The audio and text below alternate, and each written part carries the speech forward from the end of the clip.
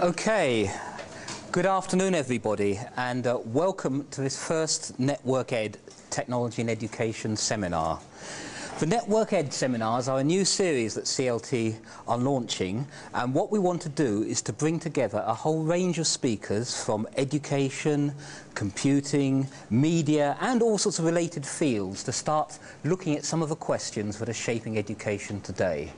We want to raise questions, encourage debate both within and without the school and look at a whole series of transforming issues which really are changing the way we teach and learn.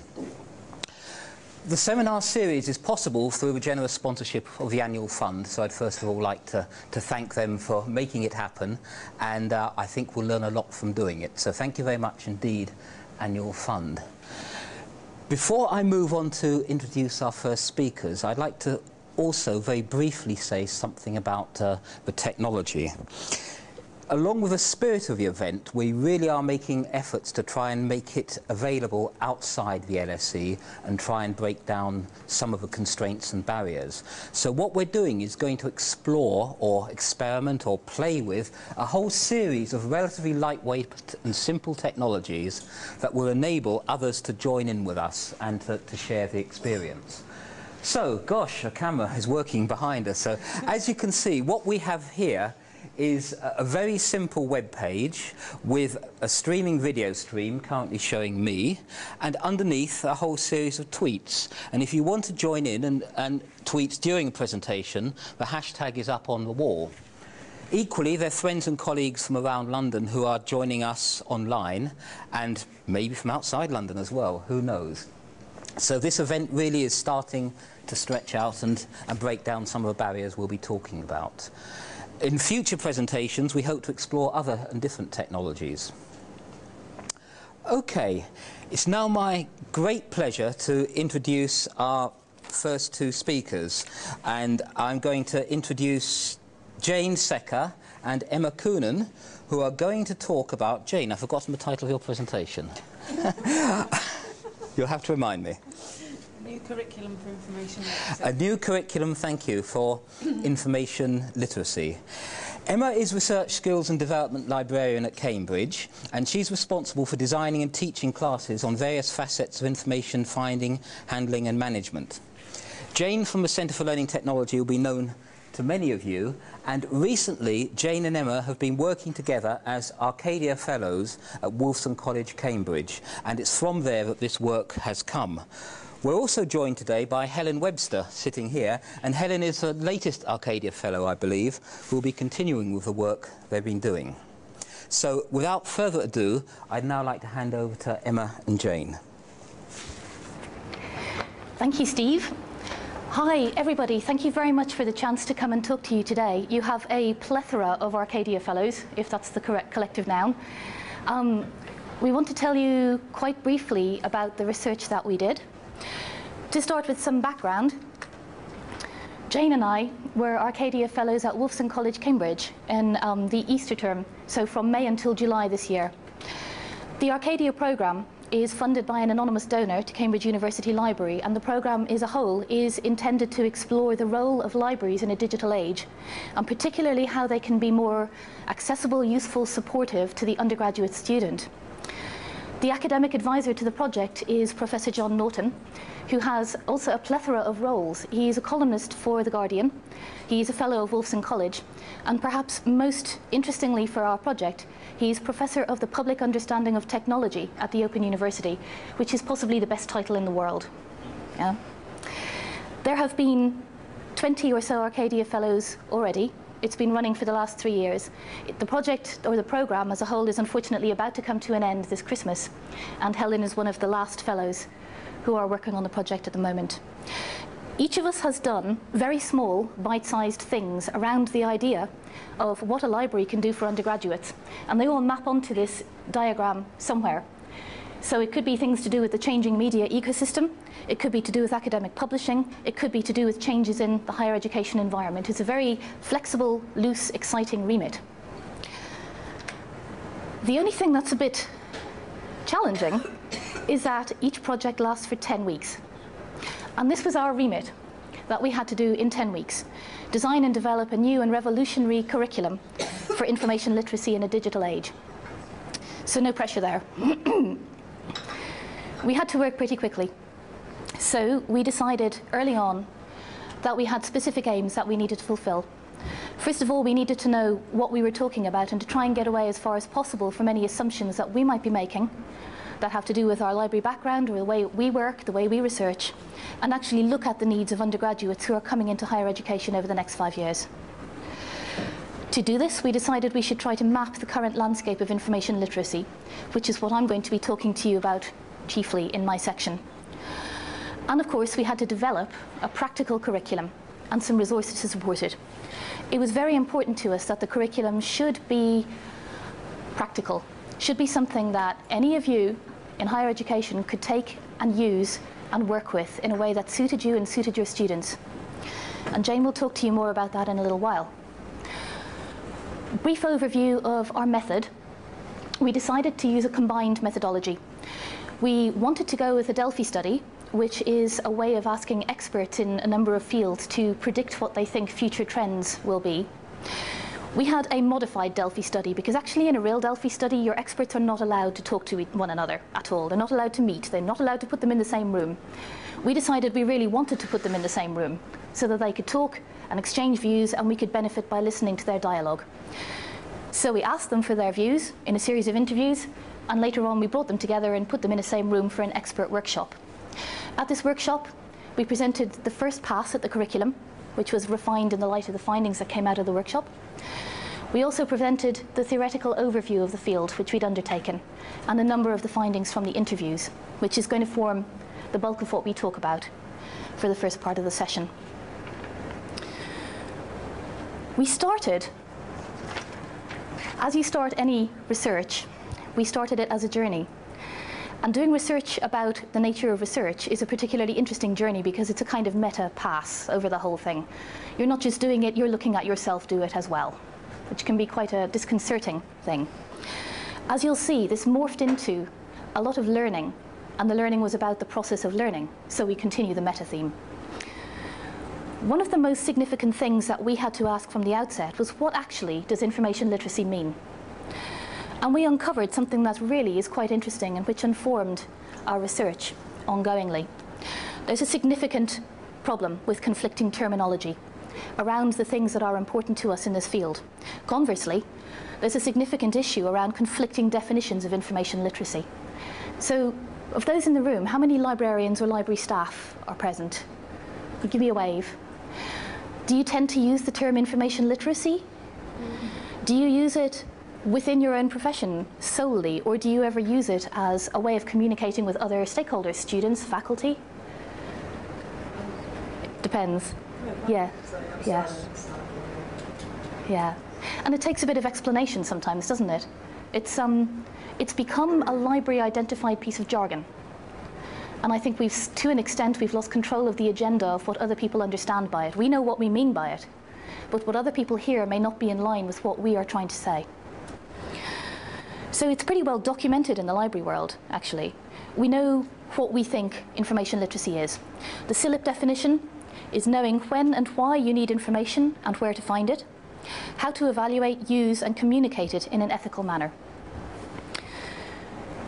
What Jane and I discovered in our learning about learning process was that our approach to do with information literacy actually had quite a lot more to do with the learning process itself, not just how information is discovered or accessed, how it's managed, how it's analysed, how it's assimilated, what kind of emotional impact it has on the learner.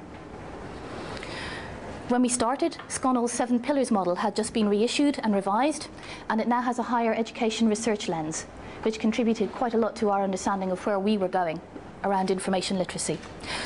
But of course, there are these other literacies now. There are non textual, non hard copy literacies, particularly around digital technologies. So, media literacy and digital fluency in particular are concepts that have come to the fore in recent years. They're concepts that, from a narrower definition of information literacy, seem to challenge or to pose a parallel set of literacies to what we might think of as IL. And yet, if you look at the recent Demos report, it is very, very big on digital fluency, but it says digital fluency is defined as the ability to find and critically evaluate information online. And to do that, you need a combination of old and new technological abilities. This is not just about suddenly going into the online world. It's not about an alien world. It's about bringing your abilities with you and building on what you've got.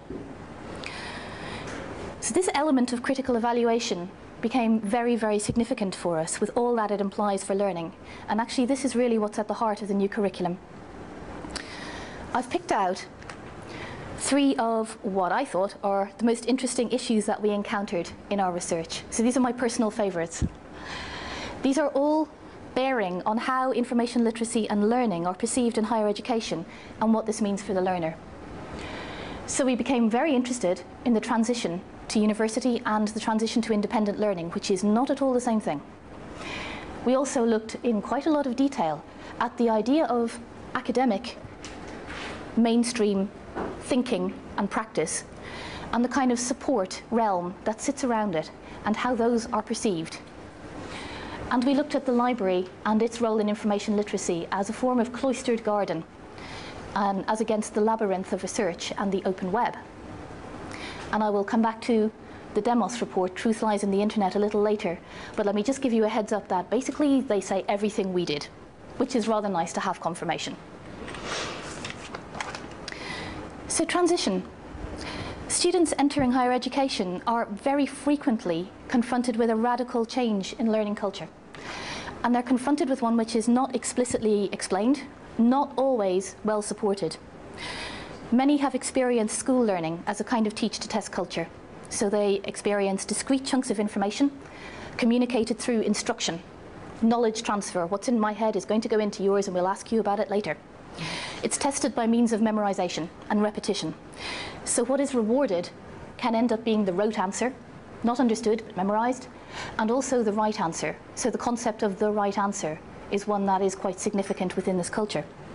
Suddenly the goalposts change. Suddenly, what is rewarded is an interpretative view, a questioning view, a view where you are synthesizing other viewpoints and bringing them together. Value is placed on qualities like finding your voice, on critical analysis. What actually are these things? When your supervisor gives you feedback, it says be more critical. How do you go about doing that? Here is one of the first issues that really arises around concepts of information literacy and how it's perceived in higher education. For us, these issues around transition and between different kinds of learning and the transition towards being an independent learner is incredibly salient, incredibly significant to the mainstream academic mission. But within our interviews, within our research, we very often found that the solution to this problem, if you like, of a student not understanding criticality is to direct the student to a support service which will fix the problem. Okay? So you end up with study skills advice, you end up with library advice, you can end up, if you're lucky, with learning development advice, or if it goes really wrong, you can end up in counselling. But in every single aspect of this, the problem as, is being, the student is being pathologized. It is the student who needs to make up ground, not that this part of learning is actually significantly part of the whole experience of being in higher education, part of the whole experience of emerging as an independent learner. The two are made separate. So, what could be a reflective experience, the transition to a new learning culture, is suddenly made remedial. Second thing of interest when you have this conceptual divide between the business of mainstream academia and the support environment around it, so that you have a centralized academic mission and then you have things around it that support but are not of it. What does this do for the support environment generally, generally for information literacy? There can be an enormous confusion between information literacy and ICT abilities quite often if you ask somebody, what do you think information literacy is? They will say, isn't it the ability to use a computer and to, you know, go online and find stuff? And you think, well, yes, that's part of. Most assuredly, you're going along the right lines. But to identify the two, to conflate them like that, is to be very reductivist about what information literacy is and can do. But this confusion is quite often bolstered when you have institutions with converged library and computing services, yeah, and where information literacy is placed squarely in that arena. what can happen is that it becomes a matter of mastering tools and interfaces of learning skills for dealing with finding information on the internet. So what could be a learning experience if it were placed within a subject environment is again externalized and made to seem as though this is a skill set. Instead of masteries about tools. So it's not about transferable strategies. It's not about learner development. It is not iterative or evolving. Once again, the focus tends to be on here is a chunk of learning, here is how to do X on the internet, now you can do it anywhere. It's not transferable, it's just repeated. Okay? I think it's important to stress that for us, digital literacy, digital fluency is, as I say, a component within information literacy. And this is something in which we've been influenced by the ACRL, which is the Association of College and Research Libraries in the US. Way back in 2000, the ACRL suggested that information literacy abilities use technologies, but they're ultimately independent of them. So one is a component of the other. It happens very often as well that information literacy is linked with transferable skills for graduate employment. Yeah? So that pushes the IL agenda towards the other end, if you like, of the student experience. It can be linked with the support services again, like disability, like counselling, like learning development. Where this happens, it can seem like an easy win for information literacy because support services necessarily and deservedly have visibility, possibly not the visibility that they deserve but they have visibility within the higher education environment. Putting IL with them means that IL, information literacy, becomes more visible. And yet, this runs the risk of producing a generic, extraneous focus so that the whole lot is seen as being separate from and supplementary to the academic mission, once again. I had a lot of fun writing about information literacy in the library and about librarians' perceptions of information, academic perceptions of information. There's a lot of information out there. There's a lot of very, very useful, knowledgeable articles and books out there which are a really good read. And thanks to this project, I actually had the time to, to sit down and read and enjoy them all, which was amazing. What I came out with is an idea that you can actually, again, draw a conceptual contrast between the academic perception of information and a library perception of information. So I'm going to make broad, sweeping generalizations here, be warned. But one can be said, if you conceive of knowledge within the higher education academic viewpoint, it tends to be conceived of as an intellectual operation. So it tends to focus and prioritize individual insight, the individual contribution to knowledge, something that is unique. Yeah? From a library point of view, it's much more systematic. So we tend to focus on scholarly knowledge as a corpus of data which needs to be stored, which needs to be indexed, ordered, retrieved, filtered. And this is how we make it manageable, retrievable, meaningful.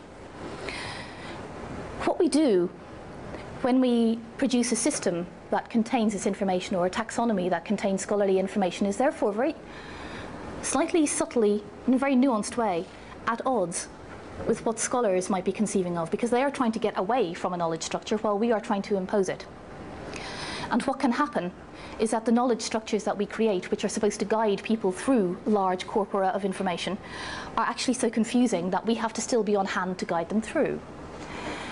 So my favorite example, you don't get to look up Millennium Bug in the Library of Congress subject headings. You get to look up year 2000 date conversion issues. So are you going to tell me you don't need a librarian to find that out? I don't think so. What comes of this is that the library can end up as a very bounded space. It is a very secure space. In a digital era particularly, it becomes a kind of cloistered garden. We have resources which have been selected for you by experts. We have resources which are catalogued and made available to you in a systematic way, again, by experts.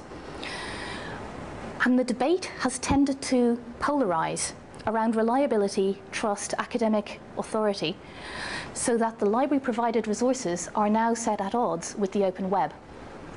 And this is again a reductivist way of looking at things. Okay? Information comprises the whole world of information, not just the open web, kind of, ooh, dodgy, very bad, and library stuff, always reliable, always good. when you put this polarization together with the focus on system, which again emphasizes ability to use interfaces, ability to use tools and products, it results in this mistaken identification of information literacy as the ability to use library tools, or it can do. Moira Bent did an excellent study in 2008 as the result of her National Teaching Fellowship, and she spoke to a librarian who said, students, they don't know how to use that database properly, so they can't be information literate. Okay, so immediate conflation of ability to use database with being information literate. We reckon it's a bit bigger than that.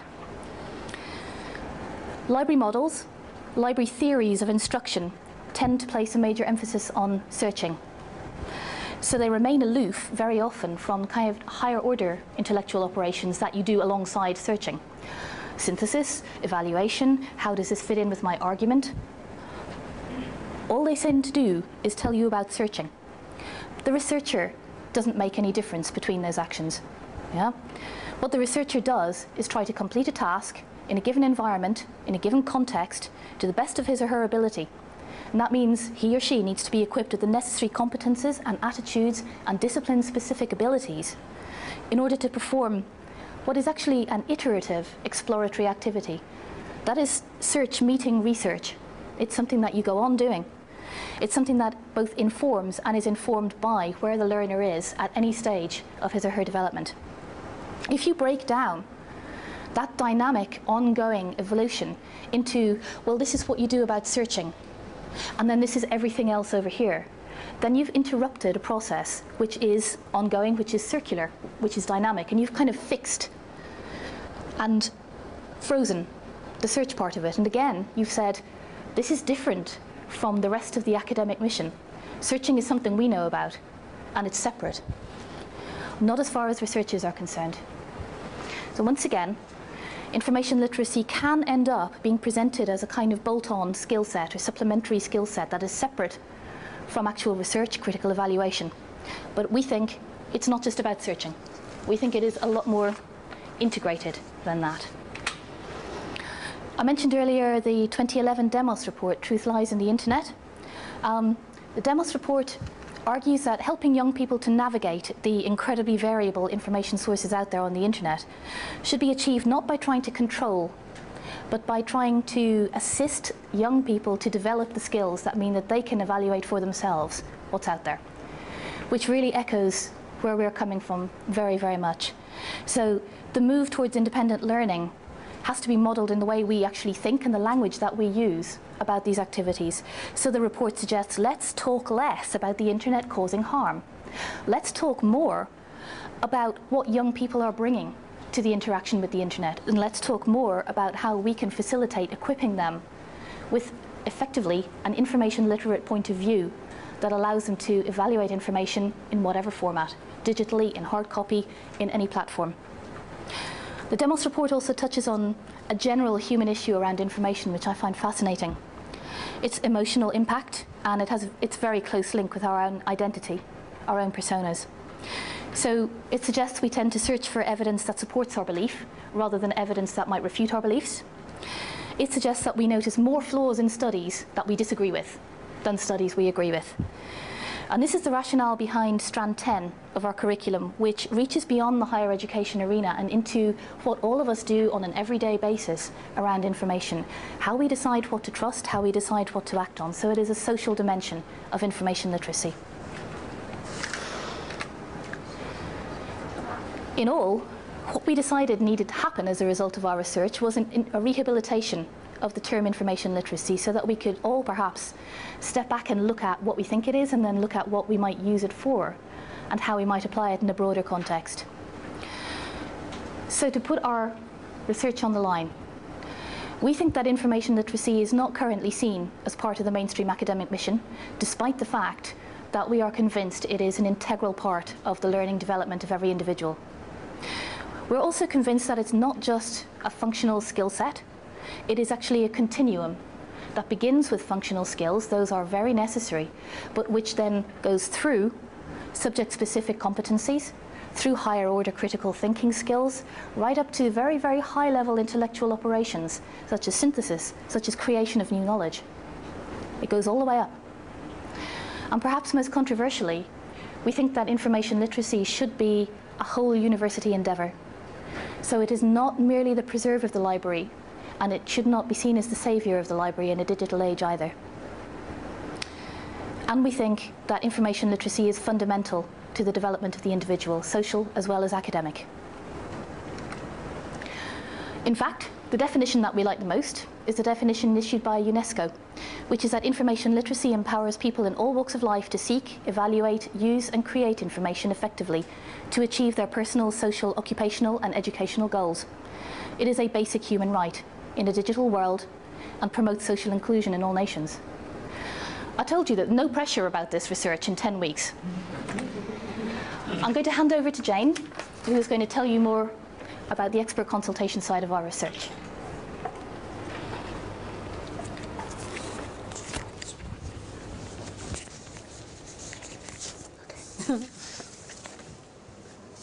Okay, thanks, Emma. Um, I'm going to talk to you um, a bit about um, the, um, the findings uh, from our experts and then obviously give you an overview of the, the curriculum that we developed. And also I know some of you have got handouts that I put on the chairs and the resources are all available afterwards on our website. Um, in our expert consultation, um, what we were looking to do was um, speak to um, the people that we considered to be experts in information literacy. Um, so um, no apologies really that quite a large number of the people we did speak to were librarians. We did also speak to researchers in the field, to, um, to educators, we spoke to some trainee teachers, um, and school librarians. Um, and they gave us a fascinating um, insight into um, what they thought should be in this curriculum. But actually, um, one of the things that, that came as a bit of a surprise to us um, was that, that what they told us was um, that, that it wasn't, um, what went into the curriculum was obviously very, very important, but it was also about how you taught this curriculum, how it was delivered, um, and that, that was actually at least as important as what went into it and what, what the kind of um, aspects of information literacy were covered. Um, they, they were also very clear um, that um, whatever we developed, it had to be possible for this to be embedded into an academic curriculum because the disciplines will vary so much. Um, even at LSE, where we're you know broadly all social sciences, the, the, the differences between an anthropologist, um, between an economist, you know, are vast. If, if you if you go to a, a university like Cambridge, where you have medical students, English students, um, what, what goes in one discipline is, is not going to be the same um, in another discipline. Um, and also, um, they, they felt that um, what we really needed to do as well was, was to let students bring something to this as well. They don't all come to us, um, e even if they have all gone through um, A-levels, um, they don't all come to us at the same sort of level. So their, their needs and their their kind of abilities will vary, and I, I, think that's something that we all see who deal with undergraduate students. Um, so we have to be able to adapt the curriculum to take into account those differences, but also we have to allow students to be able to reflect on what they know already, perhaps, and areas where they need to brush up um, their skills. So what did our experts say in terms of um, the format and the structure of the curriculum? Um, Emma's uh, sort of um, intimated some of this. Um, the idea that the curriculum was holistic, that it wasn't something that stood outside of the academic curriculum, that it was fully embedded into the curriculum, was really key and something that all our experts um, uh, told us was, was going to be really critical to the success of what we were trying to develop also um, something that was perhaps um, modular so that, that people could kind of plug in different bits as appropriate either to the discipline or to the level of their students. Um, People talk to us as well about the way the curriculum was delivered in terms of the, the mode, so whether it was online or face-to-face. -face. And again, flexibility was really important here. So having a fixed curriculum where we said there will be 10 classes and, you know, they all have to be on a Tuesday morning at, uh, at 11 o'clock wasn't going to work. We have to be able to adapt the timings, but also the mode. So, so in some institutions, it may just not be possible to get you know 800 students together in a in a in a computer room to to, to do hands-on activities. You may have to use online. So whatever we develop, developed needed to be um, adaptable to different institutions.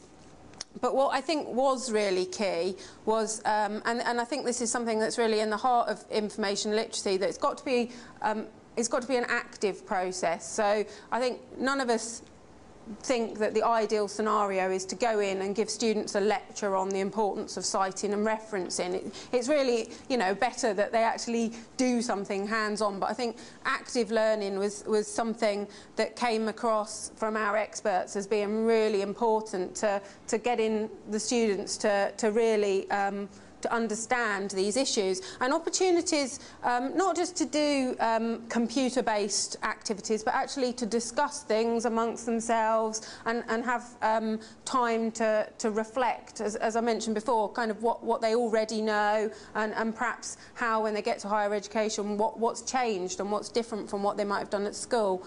And this is very much um, something that um, I think in the in the library profession um, we're grappling with at the moment that it's a, a shift from from um, training sessions that people are perhaps getting quite happy and comfortable with delivering to actually it being um, more like a teaching session. So running a session where, where actually you don't just stand at the front and deliver, that, that the students interact, that they discuss, and perhaps they go off at all sorts of, you know, um, in different directions that you hadn't anticipated. And that can be a bit scary for some people, but I think that that's really important.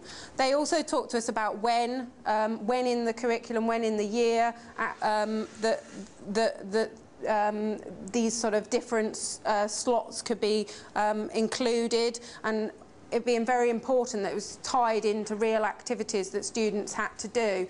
Um, there is always a bit of a tendency to want to tell them everything at the start of the year in some sort of induction.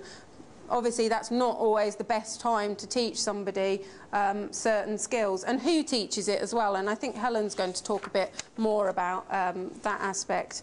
Um, our experts told us that assessment was very important. Assessment um, is is something that's always quite difficult, I think, with um, particularly when information literacy hasn't been a core part of a, an academic programme, perhaps when it's an optional session that students choose to come to. Um, it can be quite difficult to come up with um, a meaningful assessment, but, but really students are going to be very strategic learners like we all are. So if everything is just optional activities, then, you know, how, how are you going to actually measure and, and, and see any sort of improvement if you don't build assessment into this? And so that's something we've put into our curriculum as well, is some suggested assessments.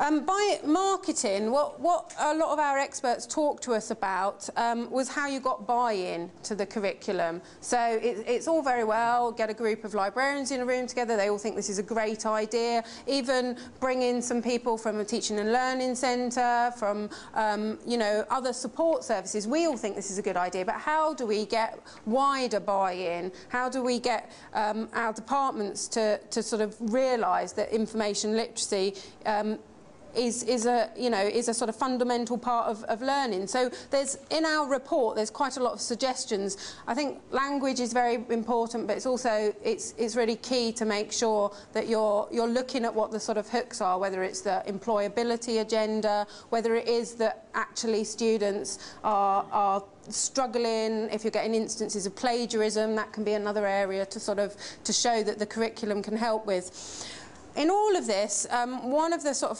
fundamental things we really believed, and, and this comes from um, the writings of, uh, of Biggs in the sort of education field, um, which is, is basically the idea of aligning the curriculum to the discipline, knowledge, the skills and the behaviour that you want your students to have at the end. And that's something that was really um, important and struck Emma and I, and something we tried to do when we structured our curriculum. Um, technology. Now, um, I, I, think Emma, Emma, and I were sort of um, were a little torn here of how technology might fit into our curriculum. Um, we're, we're, talking to the NetworkED um, in, the, in, this series, and I think we couldn't go, we couldn't sort of not say something about technology. But one of the things we felt was really key, and, and a lot of our experts um, really emphasise this point was that um, the curriculum would have to include some specific tools and software, but this would be a way that really it would it would it, it, could basically date the curriculum. So what we wouldn't want to do is be very prescriptive and sort of list out certain tools, you know, that, that, that students would need to know. I think what we tried to do is be technology neutral, but focus much more on um, what the sort of the underlying skills are that those technologies um, are good for. So something like uh, Google Reader, RSS, and the ability to get um, updates. It, it's kind of what's that about? That's about a way of keeping yourself updated. It's not about just learning the functionality behind the Google Reader tool.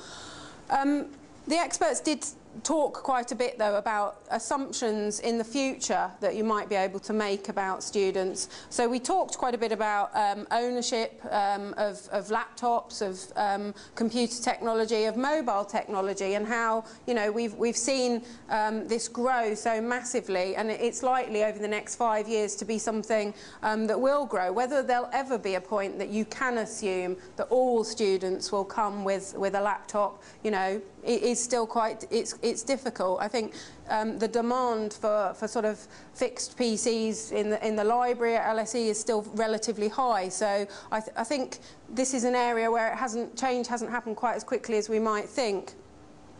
Um, the Google generation um, and the sort of debate around whether uh, young people are digital natives, wired in a different way, was something that our experts mentioned as well. Um, most of them were kind of discounting this theory, and again, the idea that we have to um, we, we can't make assumptions and we can't say that all, all 18-year-olds uh, will know how to do this or they will be happy using social media. Um, I think that's really clear and there is quite a lot of research that suggests the group is, is a lot less homogenous than you might think. But I think we will see growing trends with things like cloud computing, greater use of, of social media and things like that.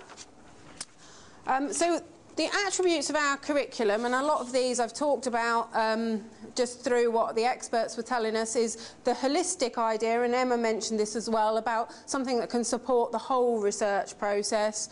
The, the idea that it would be modular, very important to be embedded within the context of an academic discipline, flexible, and active learning and assessed. So I'll, I'll, show you now in terms of um, the 10 strands that we've developed. And as I say, most of you should have on your chair um, the sort of full curriculum document that we developed. Um, the strands reflect the areas that were identified by the expert panellists, um, but they also arose out of our own sort of reading of the literature as well. Um, and they're not supposed to be linear, so although they're numbered 1 to 10, um, and it might appear, because certainly number 1 is starting um, with the transition from school to higher education, and 10 is the social dimension of information literacy, in some ways links to um, the, the student leaving higher education, going out into the workplace. We more um, see this curriculum as, as a, a circle or a spiral.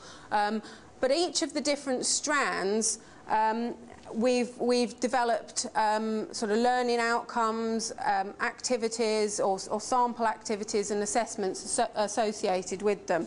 I'm going to unpack them a little bit different in, in, a, in a moment, I think. What they do also have um, is each of those strands has uh, five broad um, learning categories. So what we sort of see is that um, at a, a, sort of basic level, you've got the kind of functional skills that Emma talked about. That might be about learning to operate certain systems, but each of the strands goes up through a sort of a set of levels to higher level intellectual operations. The, um, if, if, you were developing um, a set of classes around this, we wouldn't we wouldn't assume you'd have 10 classes. We would think that you can take these strands and use those flexibly. Um, you can take different aspects of the strands um, and put them into the same class where it's appropriate at the same sort of level. Um, but in designing any class, what we would hope you do is have active, reflective um, activities um, in there that would be relevant to your students' needs. So different ways that it's been suggested you could use the curriculum um, is one thing that um, we could do, and we've talked about whether to do this at LSE, is audit across an institution to see, well, which, who, is, who is covering these in any large undergraduate course to make sure that students are getting this. Um, but you could obviously audit your own uh, classes, you could audit um, across a department as well. They're all suggestions of how you use the curriculum.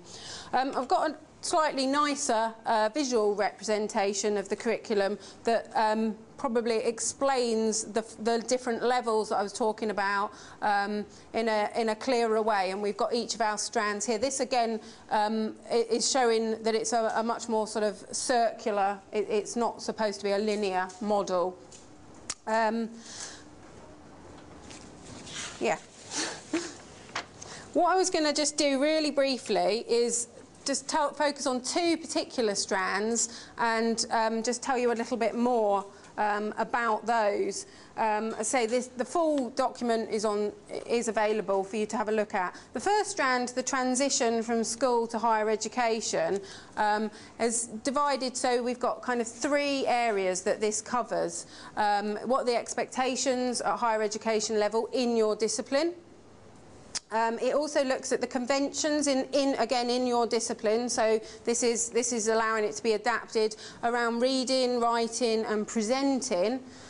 Um, and then it's also an opportunity to get students to reflect on perhaps what they were doing at school um, or before they came into higher education and what might have changed when they get to higher education, what the expectations are. And I think that this reflection sort of element is really key because I think certainly one of the um, things that when we spoke to um, partic particularly um, some people working in schools, they said that a lot of students will struggle with the fact that they may well have been incredibly successful when they've been at school. They've gone through the A-level system. If they've come to LSE, if they've come to Cambridge, they've got very, very high grades. So they think they're doing something right. They think that the way that they've been learning, the, possibly with this kind of teach to test, has, is, is working. And so they get a little bit of a shock if they come um, to a, a, a prestigious institution and their first piece of work they get told you're doing this all wrong, you know, or um, you know, well, well, no, of course there isn't a book that's got the answer in. That's not how we do it, you know. So, so there's there's a lot of work I think that could be done around. Um, uh, building activities into the curriculum that can really help with this. And we've put a couple of examples there, um, reviewing higher education level work, discuss, discussing you know, how it might differ from perhaps an essay they wrote at school. Um, things like academic journals, which can be quite a mystery actually to a lot of students who have come from a school where increasingly they don't have a school library and they certainly don't have academic journals. So, you know, well, why, how, how does a, a publication, a, a, a more popular publication like History Today, what, why is that different to the Journal of Economic History? You know, some of this may seem um, that it's, it's um, you know, it, it's, it's not required. But I, I think one of the difficulties is that when you've worked in higher education for a very long time, it's quite easy to forget what you didn't know, you know, when, when you were 18, when you first arrived. So, um, and, and we've got another um, exercise where you could get students to sort of tell you, well, what are the three top sources? What would you do? You know, where would you go um, to get information? Do you go to books? Do you go to the internet? Do you go to the dreaded Wikipedia? You know, and, and think about whether that's fit for, for the purpose of, of writing an academic essay or something. Um, strand six, which I just wanted to pick up on as well, it's another one that I guess is quite familiar to people um, who deliver information literacy sessions in the library world, but it's all around managing information. But I think managing information has become such an important skill, and it's way beyond just thinking about managing your references and, and citing and, uh, and sort of constructing a bibliography. You know, we're, we're talking about um, managing all the sort of information that you collect. And there are all sorts of new ways that students could do this. I had quite a few um, the uh, Freshers Fair induction. I had quite a few students asking me about tools they could use to help them with note taking. And I've got an iPad. What should I be doing to manage all my, you know, all my notes? They weren't talking about references time management and planning, again, I think those are areas um, where students need a lot of help. And particularly when you talk to people in schools, having to do an extended piece of work, having several weeks to prepare an essay is not something that generally happens at school level. So time management and planning can be very hard, which is why you often do find, I think we all do it a little bit, but staying up until three o'clock in the morning trying to get the essay done. Um, but managing information, I think, is a, a huge complex area and it, it, it sort of ranges from the kind of note-taking, time management, all the way through to bibliographic reference management, but also ways of keeping you up to date, as I mentioned. So again, we've got some example activities there um, that you could do um, with students to get them to think about some of those different areas. Um, I won't go through all those um, now, but they're, they're, they're, they're in the handout if you, if you want to know more. Um, what I should say as well is that um, we, Emma and I produced um, four fairly chunky sort of outputs from, from our research. They're all on our website, um, our new curriculum um, blog, and so they're all available to download. And we've also got somewhere where you can um, give us some feedback on there as well if you, you look at that. They're also all licensed under Creative Commons, so you're free to take our material, to adapt it, um, on the condition that you share it and relicense it under Creative Commons as well. But we've got um, an executive executive summary, the curriculum, which I've printed out um, some of um, the kind of meat of it for you here, um, but there is a whole range of other supporting documents that go with that.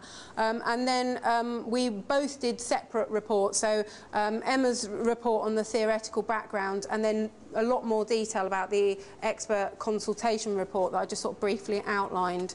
Um, I'm going to stop and hand over, I think, to um, one of um, our sort of successor, I guess. We've, there's two Arcadia Fellows who are working at Cambridge at the moment looking at strategies for implementing our, our curriculum. And Helen's going to talk to us, I think, a little bit about some of the work you're doing at the moment, briefly. Yes, where okay. I got to.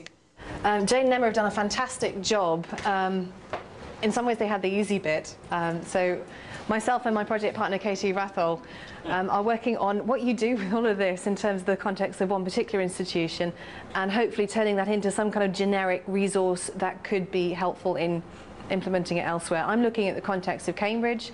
Katie's looking at some other institutions, um, including York St John and Worcester. So hopefully our outputs will be available as well on that link. So we sat down together and coming to this afresh, we asked ourselves, so what's new about this new curriculum? Um, I'm not a librarian. I'm by background, I was a subject lecturer and I'm now a learning developer. So I'm not a librarian, so to me this was all very new. Um, and we thought, well, what's the old curriculum then? Well, we'll look at the old curriculum and we'll compare it with the new one and we'll see what the differences are.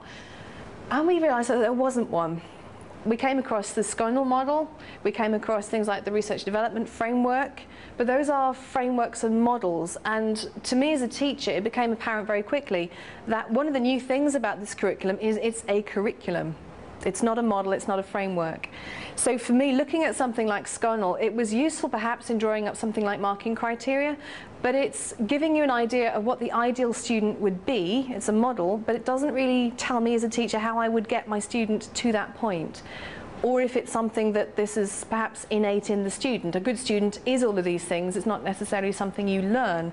So for me as a teacher, I found a document which was very interesting, but I wasn't sure what to do with it. But this, as a curriculum, gives me a way in as a teacher to try and work with my students to get them to a particular point.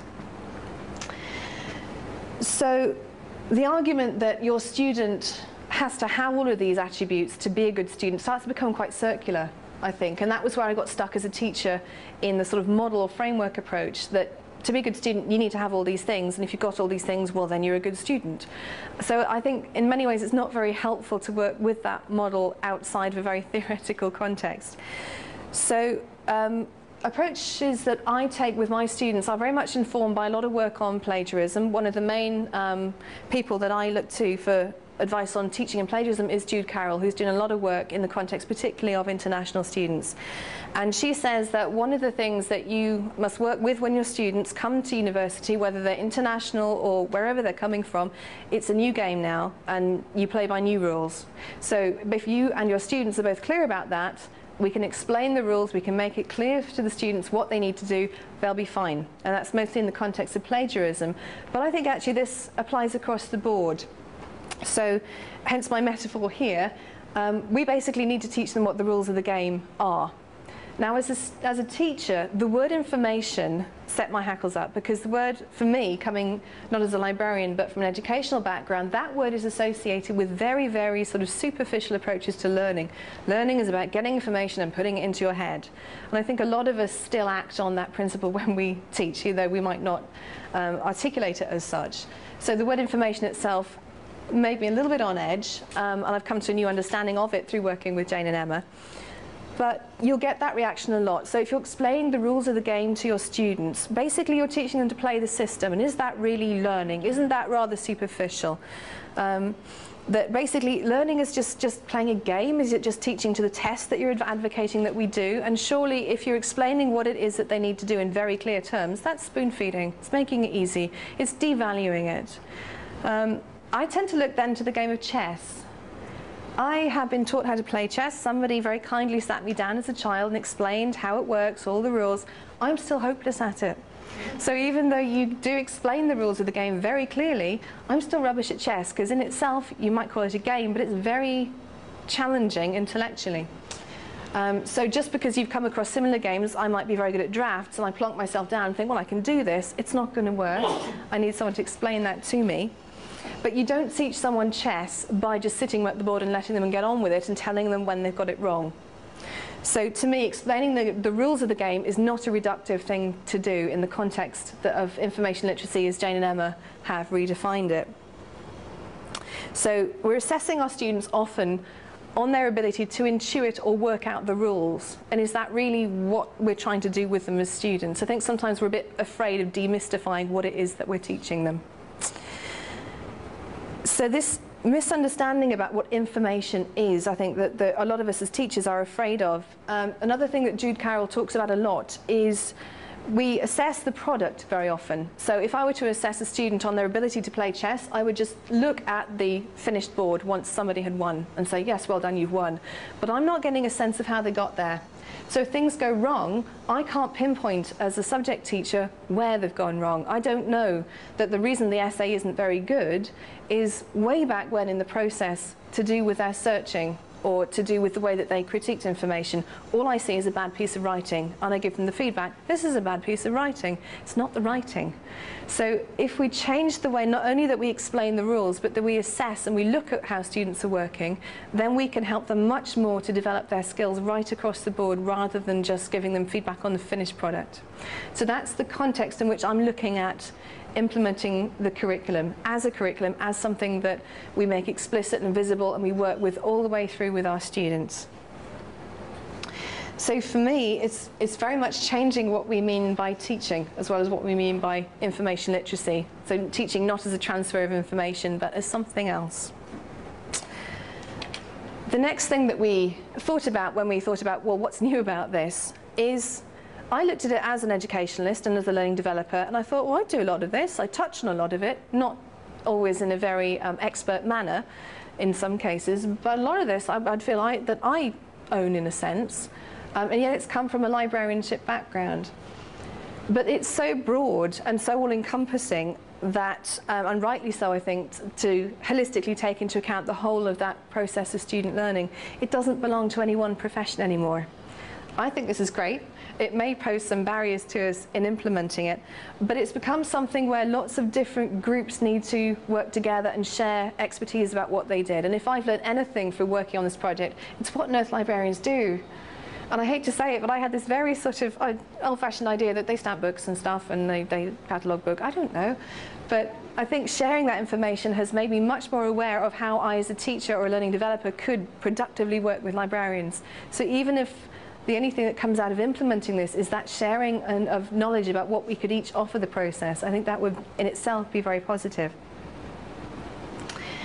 So some professions might um, see themselves as a core part of this. Obviously, librarianship might, although there will be areas where they feel less comfortable.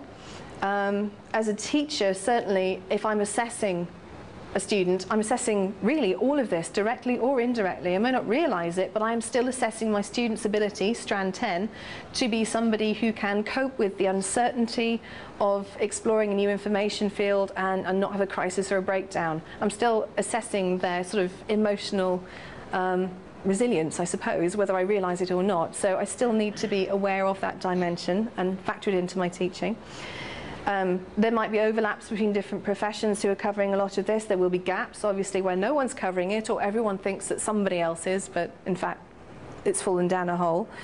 Um, and it might be a major part of your role, but it might be a very minor part. It might also be a very incidental part. So um, as a subject teacher, you might well be involved perhaps in the more um, maybe counselling ends of things, where you're sort of mopping up students who have come to you quite distressed by the challenges that a lot of this has posed to them, uh, to their own identity as learners.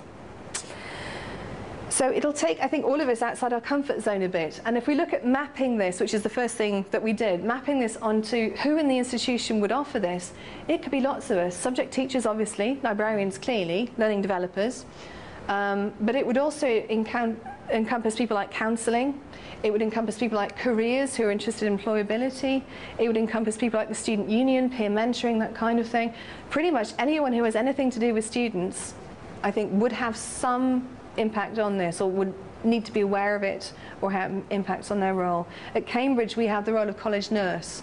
And in the first instance, I thought, well, that, that doesn't really come into this. But actually, your college nurse is the person you go to at four in the morning when you're having a breakdown because you can't manage everything that's on your reading list. They are often the first front line, and their impact in this would be referral, to be aware of exactly who can do what to help the student through that particular learning challenge.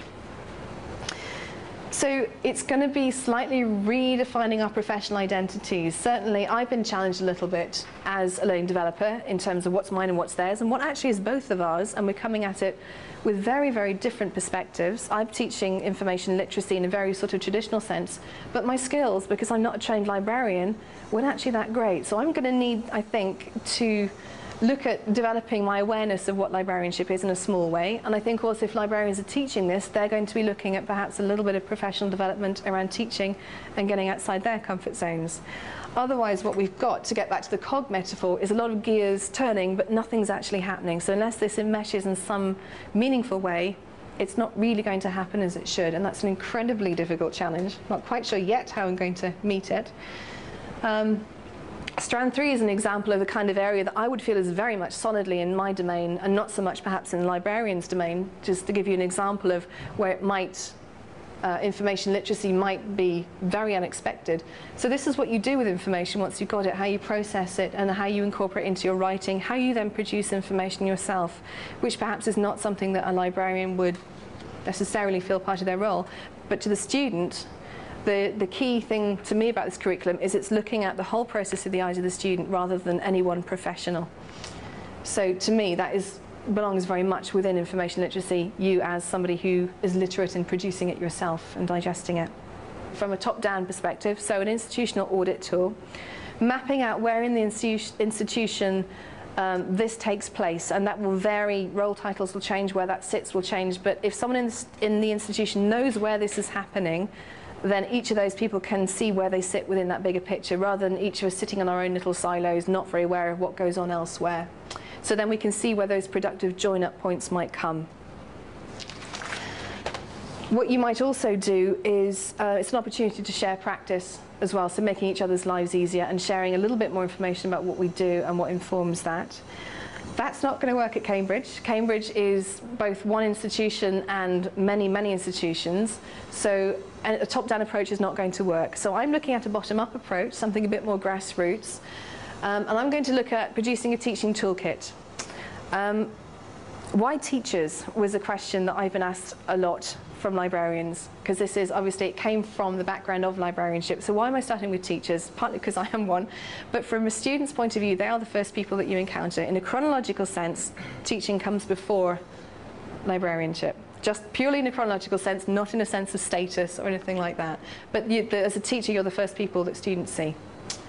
Um, you're also the people who shape the, the information need of that student. Without creating a need in the student for information, they're not going to go to the library because they don't need to. So you are the one who designs the context in which they will go out and start to develop these skills. Um, so that's why I wanted to start with teaching in that sense. Um, but I think what I want to do is I'm going to design um, some resources, some lesson plans, whatever it is, or ways of gently incorporating this into your teaching. But I want to run those by all the other professionals where possible that would have an impact on this, so that the, the teaching resources are shaped by the perspective using the expertise of other professions such as librarianship, disability resource centre, that sort of thing, counselling, um, so that the teacher becomes a hub for that kind of join up. So one of the things I think it would be very helpful to do for teachers is to sort of benchmark where across the whole lifespan of a degree they think their students should be at any one point. That would be very useful for assessing course design. Um, some of the courses I look at, particularly in the sciences, have said, well, our students don't really need to do any of this until they hit the dissertation in the third year. So all of this curriculum in that case will need to be compressed into a very short space of time. Is that really the best way of doing it? Are there ways of kind of stretching it out slightly? Um, other more arts and humanities type degrees, that will naturally be spread across the whole course, but is it really articulated how the student is improving. So we teach them how to use a reading list in their first year. Are we, are we still designing reading lists? Are they still um, interpreting reading lists in the same way as a third year? I would hope not. So they need to revisit these skills as they move up, I think. So the induction model where we teach them and then the skills stay the same throughout the whole degree course, I think we could revisit using this sort of mapping technique.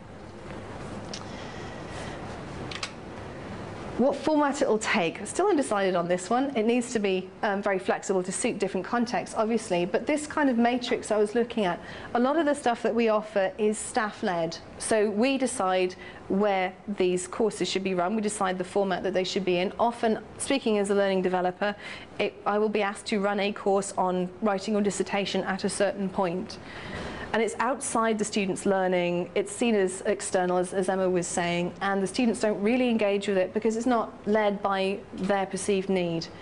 At the other end of things, working in a student services context, I was um, inundated with students asking for one-to-one support because that was the point they needed it.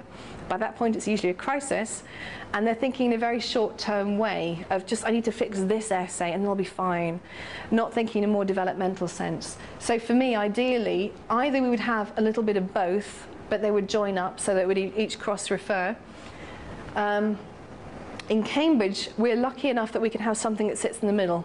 We're lucky enough to have supervisions where we can offer one-to-one or very small group teaching. So you've got something which is led by the individual students in the class, but is also determined by the staff who, who know what the whole sort of syllabus is. But that's rather unusual looking at how subject expertise and professional expertise intersect is going to be an interesting one as well. As a subject lecturer in my former days before I qualified, I didn't really know an awful lot about teaching, but because I was a subject lecturer, I felt that my PhD qualified me to teach and to know everything about everything else because I had used libraries, I'd read books, therefore I could teach information literacy. My own skills were a little bit lacking. So um, it needs to be embedded in the subject, but I think the ability to draw on that professional expertise, it's often called generic expertise, and I agree it, it does need to be embedded in the subject, but that expertise could come from elsewhere, as I was saying, librarianship, counselling, disability support, careers, all the different professions that could helpfully inform what a lecturer is doing. So to get back to Jane's model, we're going to sort of invite a bit more discussion that perhaps I can learn from about how to embed this in institutions.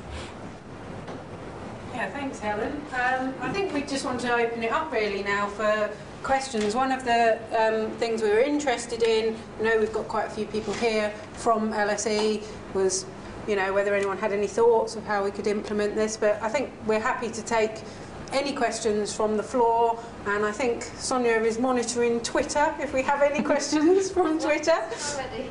You have one already? Yes. Oh. Do you want to take it to the floor first, or should I?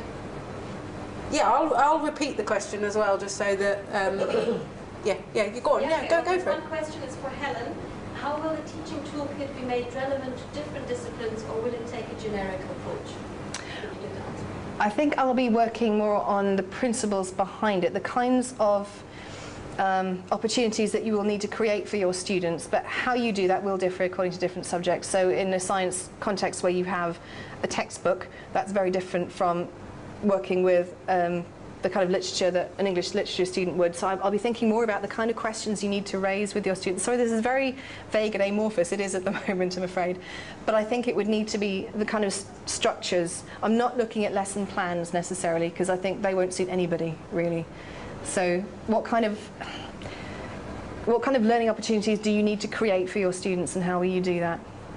And adapt them to your discipline. Yeah, because I'm very aware that generic stuff is not really going to work terribly well. Okay. we got any, any questions, reactions from the floor? Well, Oh, um, I think yes, Susie. it was Yeah. a very inspirational um, discussion, and I, I, I, I do admire your enthusiasm for information literacy.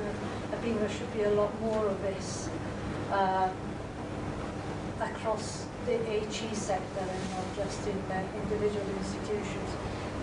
And I, I've probably come away from this with a lot more questions, which is a good evidence that is, is quite inspiring. Uh, there are a number of, of issues that uh, uh, are pertinent for me. Um, one of these issues, uh, one of the things you said, Jane, was, was, was it? Yes, it was you, I think. Um, talking about students who come to HE and they get a shock of their lives Mm. because they've, you know, they were successful A-level students, they come to HE and the culture is different. Yes, yeah. Now, now, I don't expect you to have yet an answer because I think this can, the, the question I'm going to raise goes a bit beyond the project itself. In fact, it's, it's questioning more the culture of education as a whole. But it's, a, it's an important issue that there are two different cultures between the school learning and the HE learning. And I question why that is the case. And I, I, I don't expect you to have an answer of the project to, to be able hmm. to address this. Shouldn't the information literacy, independent learning, uh, ways of reflecting and be, being an active learner come from the school already? And shouldn't this be, you know, so that when it comes to HE, we get to the point where we're starting from a different level. Rather than, you know, it's a rote learning versus independent learning. Yeah. And the two are two completely different worlds. Yeah. Uh, so in a sense, you're trying to fix something that should be fixed before the learners, the students come to HE. Don't you think? Yes. I'm, gonna, I'm just going to repeat what Susie said because I think probably people listening to the to the live streaming can't pick up your question. But it was you were just saying that the culture of school and the culture of HE shouldn't be as different, basically, Yeah. as they are. And I, I would I would agree agree completely. Um, I, I think. I think it's quite worrying that independent learning doesn't seem to be um, encouraged at school level. We, we talked to one school librarian where they teach the International Baccalaureate, and they did say that in that sort of syllabus, it was independent learning what was encouraged a lot more. Um, but actually, um, one of the the points was particularly in a school where they're trying to get students into the best universities, they actually uh, almost have to just teach them what's on the, Yeah. the syllabus to get the highest grades to, you know, to, to get the results. So it, it, is, it is wrong, but I think it's all very much linked to the way a lot of education's gone with league tables and things. John, did you want to say something? May I follow up on that? Yes, yeah, I please, mean, yeah. uh, the first thing is that, I mean, I, of course, what, what the previous speaker said is correct. Um, but we are where we are, and we can't do anything about the school system. So if- if you're in higher education, you have to, you have to operate with that reality.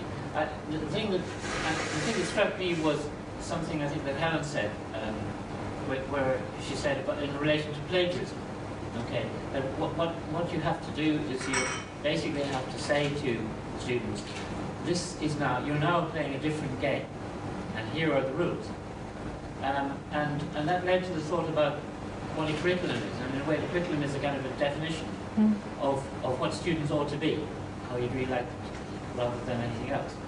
Um, and then the chess analogy, which is interesting, that goes back to the plagiarism thing, which is that you're trying to teach people two things. One is the rules that they now have to play by. And the second thing is how to be good at it. Now, just take the chess example. There are two kinds of rules in chess. There are the constitutive rules. These are the rules which you have to follow in order to be said to be playing chess. Hmm. And then there are the strategic rules, which are what govern how to become a better chess player. For example, always try and control the center of the board. Um, that's, that's a strategic rule in chess. Um, and in a sense, in, in this stuff, what, what, what, what you're after, if you take the curriculum idea seriously, you- you're after students who, who know the constitutive rules of the, inf- of, the, of the information literacy game and also have picked up some of the, the, the strategic stuff. Now, the problem with the strategic stuff is that it's almost like craft knowledge. That, that, so it's hard to it's hard to envisage how to teach craft knowledge. You can you can teach constitutive rules um, in, in standard ways, but the craft knowledge is harder. It is harder, yeah. Out of facilitating learning now, Mm. rather than trying to teach. Yeah. Yeah. So for each individual learner, what we're doing is not telling them this is how to be excellent in such and such, but it's about who are you, where are you coming from, where have you been already, and where do you want to take your journey in this subject. So it becomes an extremely individual emergence, mm-hmm. which becomes part of the learner's identity, which then perhaps shades into a researcher identity, an expert in a subject discipline. So yeah, it, it is much more about that is the kind of knowledge that has to be facilitated as opposed to imposed. And it's very challenging, I think, for us as teachers as well, because firstly, we may have picked up this knowledge without really knowing what it is that we're doing. Therefore, we find it very hard to articulate to others. Um, and we kind of expect other people to pick it up as we did, forgetting that actually maybe it wasn't that easy at the time. But um, it's also this, this idea of this sort of the threshold concept that something brings about a shift in the way that you look at something. So it's not something you have or don't have. Something comes about to create that shift. And we can set up the conditions for doing that. It is more difficult, but it is possible. And some students may never get there, and that's, I think, where ability would come into it. But it's also very challenging for us as teachers because we have to admit we don't have all the answers. I didn't know that about the centre of the board. I shall bear that in mind. It may make me a better chess player. But it may be that um, what I need to do is to create a space for students to be able to explore and see what approaches work and don't work and, and draw their own rules. And they might come up with different solutions to me, in which case knowledge moves on a little bit. So I have to let go of the idea that I, as a teacher, have the knowledge and I'm there to give it to the students. In a very functional sense, yes. But then again, I think we're, we're creating conditions where we're both learning. I've learned an awful lot from my students over the years. Hmm. So I think it is possible. I think we've got another question. Uti, yeah. Uh, two points actually hmm. to what, what you were to say. One thing came to my mind is that it's not just the teacher teaching the students these um, generic skills and subject-specific skills. But one thing I did um, when a couple of years ago was teaching a first-year course, and I had previously taught a second and third-year courses, I got some of the second and third-year students to come into the first-year class, and I was first giving them a sort of a this is how you do political science kind of thing. So it wasn't just me telling them that this is what you need to do to be good at this, but they were also getting this sort of far less quite quite amorphous rules or hints or tips of how do you become a political science Yeah. student. And I felt that worked really well. And those older students felt that that strengthened perhaps their, they didn't say those words, but I think it strengthened their identity because they felt that they were passing on some intangible knowledge as such. So it was kind of a nice two-way street.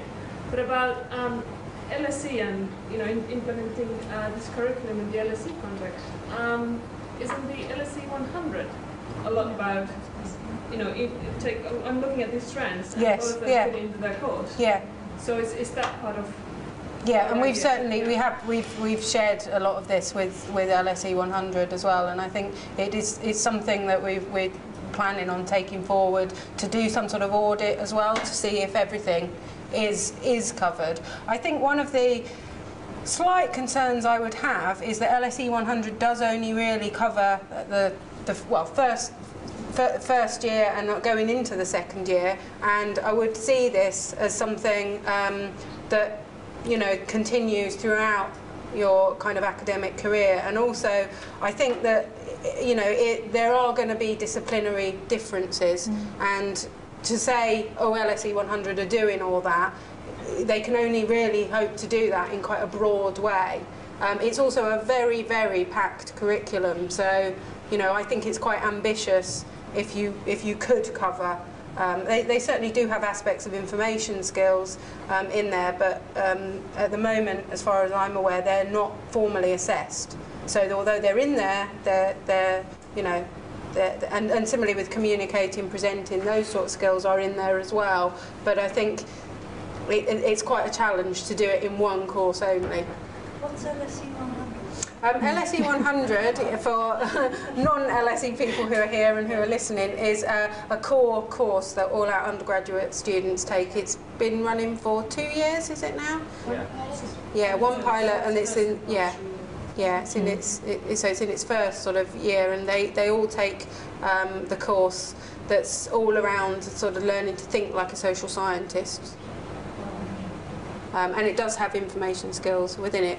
Yes, Sonia. Yeah, on that, uh, Cathar is asking again, uh, was just saying that you'd be interested in successful examples of where information literacy curriculum principles are being put into practice. So you've already mentioned LSE 100. Do you know of any others? Do we know of any other examples of where Where information literacy curriculums are being put into These practice? kind of practices have been put into Well, we... Have you spoken to We. Emma, Emma and I are actually um, going to be um, publishing a book where we're trying to draw these all together. We've, um, we, yes, a small plug for our book um, that will come out next year, and we are trying to get case studies um, to cover um, all the 10 aspects of the curriculum. Um, in terms of, I mean, there are there are a number of um, sort of good practice examples that we tried to draw together in our research. We found that quite time consuming to do that, didn't we? We have got in some of our final reports, though, some examples. There's a, there was a project um, that was from the University of Worcester that we looked at, the SMILE project, that looked at academic literacies and information literacy and a, sort of a curriculum there. There are other examples of good practice that we've highlighted. I think some of them are on our website as well. Hmm. But the less embedded they are, the the more visible they are, really. I think Yes, it's very easy to see the courses that are less embedded. So, quite how you would look for information literacy provision that is just very, very subtly interwoven throughout a lecturer's teaching the whole way through, that would be harder to do. Yes. Yes, a couple of years ago we did also have a visitor who came from the University of Auckland and they've done quite a lot of successful work to do that but it is totally integrated into their curriculum. So as Helen says it's it's quite difficult to see. There's not a bit of it that you can kind of go there's the there's the information literacy bit it's all labelled. It's meant to be totally embedded. I think it's in an engineering course. Um, so do, do we have any more questions? Yes Delianos? Um, we're talking about, uh, let's say, a generic curriculum for information literacy, and the challenge is to find relevancies to the individual disciplines. I wonder if we could look at it in a different way. For instance, can disciplines benefit from each other? So, to look at it from a different way is to bring all these disciplines together, their approaches to information literacy, to see how they can benefit from each other uh, be more innovative by looking at what other disciplines are doing. Is this something that is probably relevant to this, this course? I, I think I'm just going to repeat it just for people listening, but that was just about saying that rather than just focusing on one discipline, to get disciplines to talk to each other, to compare, you know, how their conceptions or perceptions of information literacy might differ. Um, I think that is something that we, we had a brief discussion, I remember, when we were doing the research about how it would be really interesting to get students from, say, history talking to students from, you know, economics, from medicine about how they use information. I mean, it is something, I guess, would be an opportunity in LSE 100 as well, that you could, you could compare and contrast because you'd have a broad range of students from disciplines. I think I think it's quite interesting and useful, um, and it's probably more something I'd do at postgraduate level, if I'm honest. I think it, it would be quite challenging to, to know how to do that at undergraduate level, and I, I, I'm not sure how helpful it would be. It would just be kind of broadly, you know, if you're studying medicine, do you really need to know how someone in English, you know, uses their reading list? Yeah, I think you need to be comfortable in your discipline before you can then see how it relates to other disciplines. But yes, I think it, later on up that scale, it could be very interesting. Hmm. It's Yeah. probably worth saying as well about strands four and five are deliberately subject specific, so there are strands that are generic, but then there are the strands where we haven't been able to fill in all of the gaps because that will be done between faculty, library learning developers to design things that are deliberately set within the context of the discipline to give students a foundation in, in that, exactly that kind of thinking and reflection of how does my approach work within the demands of the discipline as well as academia as a whole. So it's, it's partly generic, but it's partly designed to be right there in the subject as well.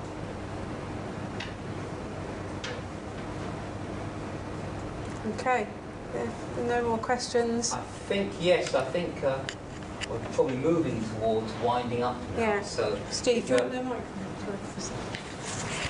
Thank you. I was just saying we are now moving towards winding up now, so if there are no more questions from the floor or indeed online, I'd like you all to join with me in thanking our three speakers for a fascinating and stimulating session.